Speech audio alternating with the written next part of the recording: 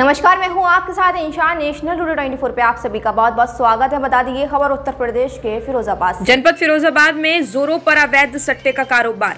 शहर के विभिन्न थाना क्षेत्रों में खूब फल फूल रहे हैं सट्टे के कारोबारी।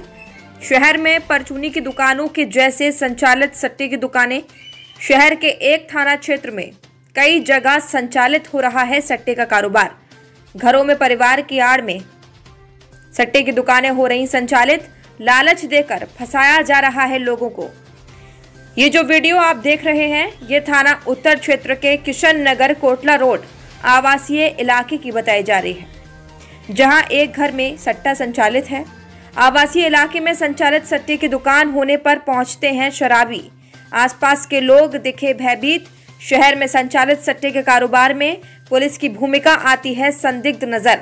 इस वीडियो में दिखाई दे रहे हैं सट्टेबाजी का संचालन कर रहे व्यक्ति का नाम राजू पंडित।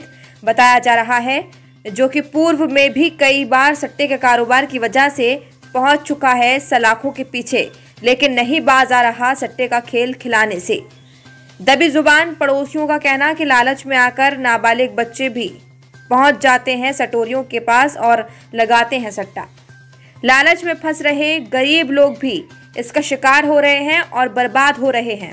आसपास रहने वाले लोगों का कहना है कि इसी इलाके में और भी जगह सट्टा होता है जिसमें कुछ पत्रकार भी शामिल हैं।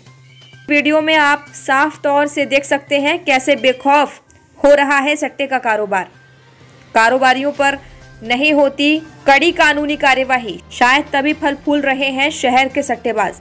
आखिर बच्चों का भविष्य बिगाड़ने वाले गरीब मजदूरों को लालच देने वाले इन जिम्मेदारों पर कब होगी कड़ी कार्यवाही?